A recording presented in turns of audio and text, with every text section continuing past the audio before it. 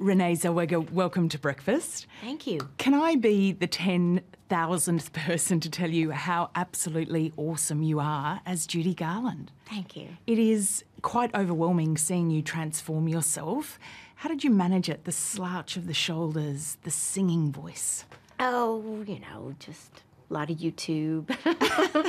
I had, you know, a lot of help. I worked with a fantastic team of vocal coaches, and you know, Matt Dunkley, our composer, was there every day, and David, the producer, Rupert, the director, all just friends, all friends trying things and exploring, trying to better understand Judy to give a proper representation in some way. Watching you, it was hard sometimes to remind myself it was actually you and not Judy Garland. Did you feel by the end of it you'd absolutely nailed it? Oh, definitely not. I can always do better, do more, do it again, do it again.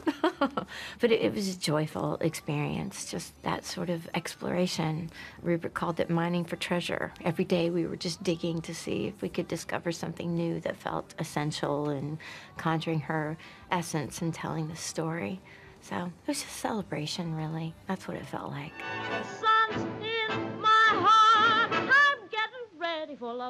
How did you feel about her before you started this project? Oh, I just adored her, you know, and I took her for granted. She was just extraordinary and she was always there. She was you know from the time i can remember anything at all she was dorothy in the wizard of oz and we watched her together every year when it came on the television set and my parents played her on the turntable and so i just sort of took her for granted but was sort of in coming to better understand the circumstances that she's grappling with toward the end of her life in order to continue performing on the level that people had come to expect of her that i really really could see how extraordinary she was was. I can't. What? No, no, no, no, no, no. What, what do you mean you can't? There's an audience out there waiting to hear you sing. My mouth's dry and it could fall apart. Listen to me. I can't. You'll be fine. Now, on you go.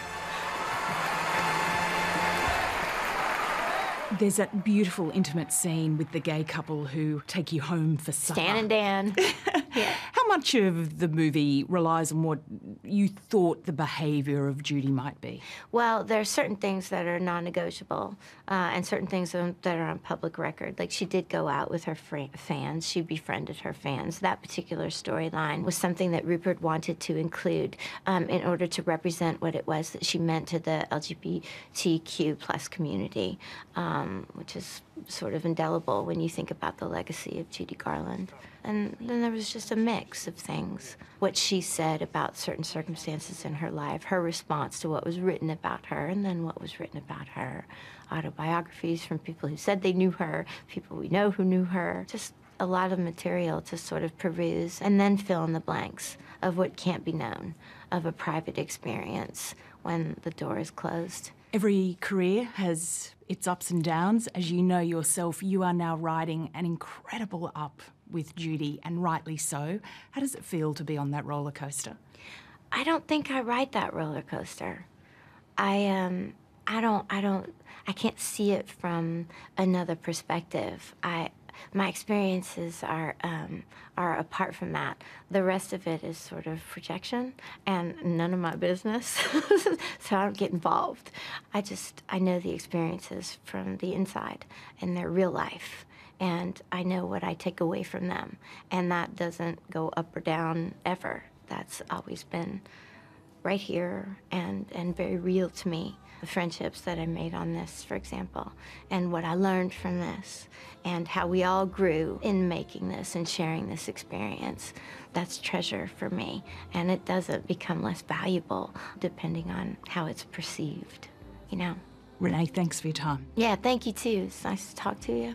There's a land that I